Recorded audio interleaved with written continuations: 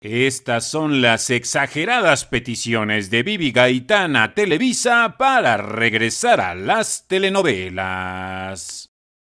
Luego de 14 años alejada de las telenovelas, Vivi Gaitán negocia con Televisa su regreso a los melodramas. Sin embargo, la ex Timbiriche pide las perlas de la Virgen. La esposa de Eduardo Capetillo participó en el reality ¿Quién es la máscara?, el cual fue para calentar la plaza y anunciar que está de regreso en la televisora de San Ángel.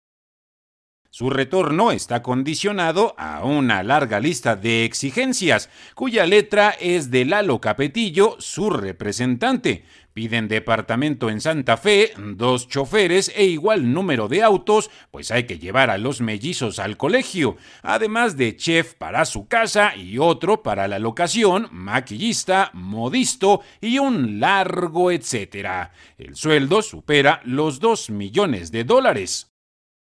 Pese a las peticiones, la situación está en veremos, pues Televisa ya no paga esas cantidades ni cumple esos caprichos. No obstante, el menor de la dinastía Capetillo hizo enojar a un ejecutivo de la televisora de San Ángel, quien dijo que Vivi casi se cotiza a la par de Marilyn Streep, ganadora de tres Óscares. Televisa no cumplirá esos caprichos, pues las producciones de telenovelas ya no duran años. Ahora, cuando mucho, serán cinco meses de trabajo y la Extimbiriche quiere más de 40 millones de pesos por su tiempo y talento. Eso pide su marido, quien se convirtió en su representante, pues a él nadie lo quiere emplear. La ambición de Lalo puede dejar sin trabajo a Bibi, pues en TV Azteca no los quieren. Hay que recordar que en 2011 salieron por la puerta de atrás de esa televisora y Patti Chapoy los insultó al hacer una aclaración personal en la novena edición de la Academia. En ese programa relacionaron amorosamente a Lalo con la académica cubana Janelín Díaz.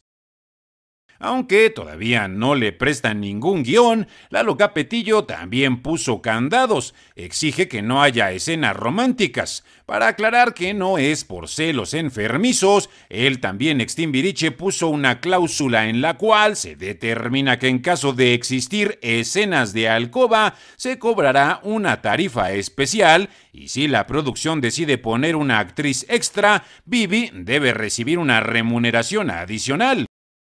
Según el documento que tienen directivos de la televisora en estudio, la Gaitán tiene una reputación e imagen que cuidar, pues todavía tiene hijos pequeños quienes podrían resultar dañados si ven a su madre con otro hombre.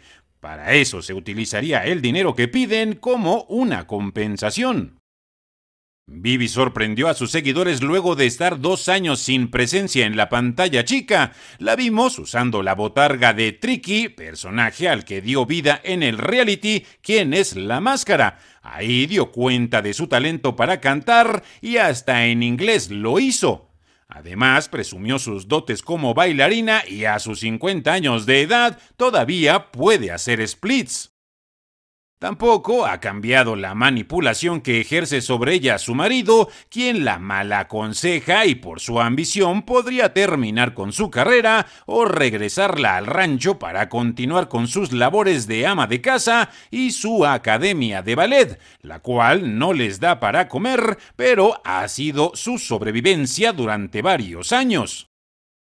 Lalo Capetillo quiere recuperar los años perdidos que no trabajó su esposa y pide una fortuna para que regrese a las telenovelas. El retorno de Vivi Gaitán a Televisa está acompañado con una larga lista de exigencias que ni Verónica Castro se atrevería a enlistar, pero Lalo se despacha con la cuchara grande como si muchas televisoras anduvieran tras su esposa.